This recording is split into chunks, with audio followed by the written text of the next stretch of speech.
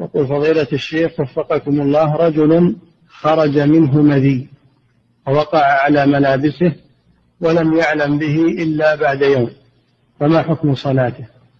صلاته صحيحة لكن يغسله للمستقبل. نعم.